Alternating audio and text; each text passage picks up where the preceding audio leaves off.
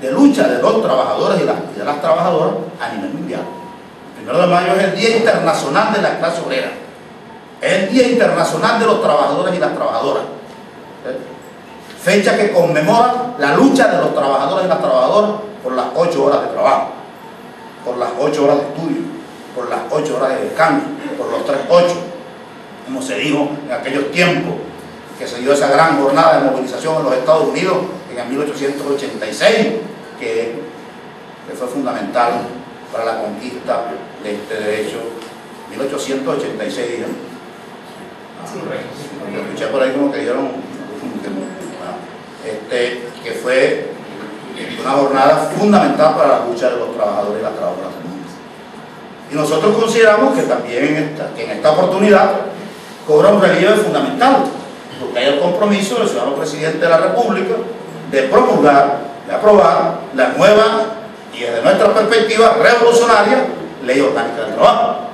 Y en consecuencia debe significar esta jornada del primero de mayo una inmensa movilización unitaria de todas las trabajadoras y todos los trabajadores de Venezuela que nos identificamos con el proceso de cambio, con el proceso revolucionario. Ese es el llamamiento principal que queremos hacer el día de hoy.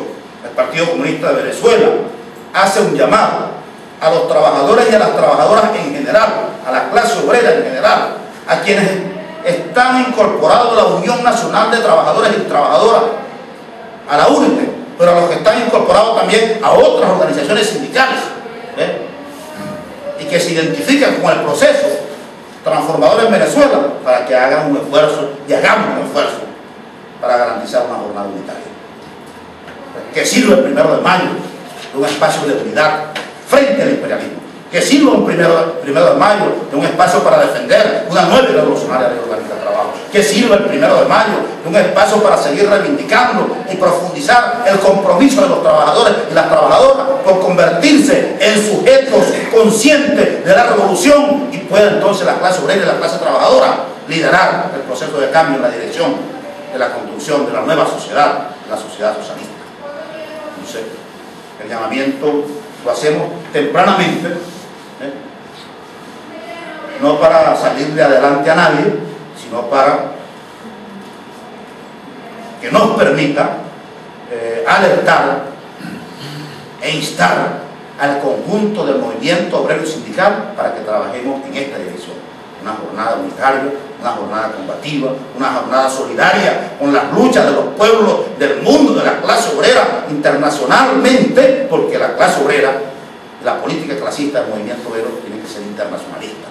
Así como el capital actúa a nivel internacional, ¿eh?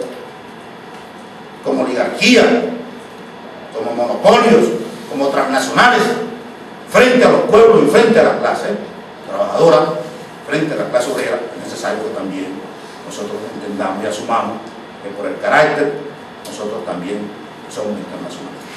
Nuestro contenido, en nuestra condición de clase, también somos internacionales.